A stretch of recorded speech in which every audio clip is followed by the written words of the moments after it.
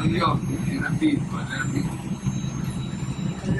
Famosa sceneggiata, così invece Diventa un nuovo caso l'audio della telefonata di Claudio Lotito, presidente della Lazio, con un suo collaboratore, registrata di nascosto sulla visita da tenere alla sinagoga di Roma.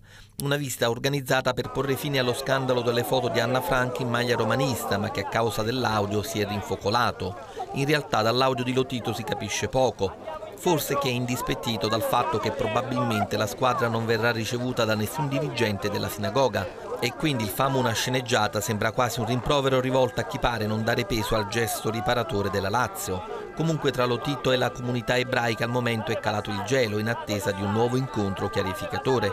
Durante la visita le parole del presidente della Lazio erano state nette. La nostra posizione di dissociazione nei confronti qualsiasi forma di xenofobia, antirazzismo, antisemitismo. La società ha sempre messo in campo tutta una serie di azioni volte a prevenire e a reprimere certi fenomeni. Ieri sera poi il turno infrasettimanale non ha concesso tregua alle polemiche. Durante l'omaggio alla memoria di Anna Franchi in molti stadi ci sono stati cori e fischi di protesta da parte degli ultra.